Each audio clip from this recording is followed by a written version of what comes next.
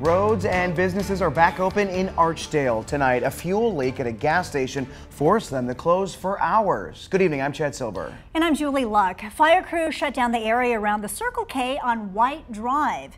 Investigators say the fuel spilled into a storm drain and a nearby creek. WFMY News 2's Grace Holland heard er, has the latest on the investigation and heard from business owners who had a long day.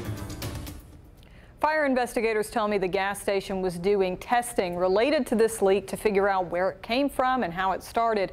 At this point, it's not clear whether they've figured that out. I'm still waiting to learn more from Circle K.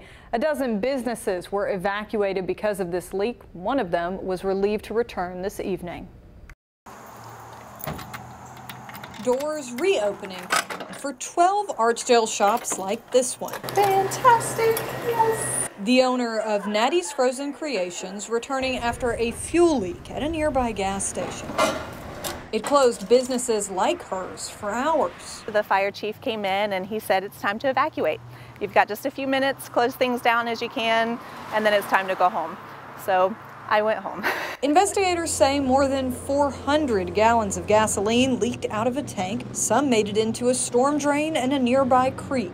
The chief says the call came from the gas station after smelling fuel in the store. Others in the area smelled it too. We came back outside and seen some uh, fire department looking in the drains and stuff like that, and we could actually smell some of the gasoline. At the so. time, the Guil-Rand Fire Department said the danger to the public was minimal, but they evacuated as a precaution. Roads and businesses like Nicole Norman's reopened this evening. You have to be ready for whatever life throws at you. This was supposed to be Norman's first full day back at work after a surprise surgery five weeks ago.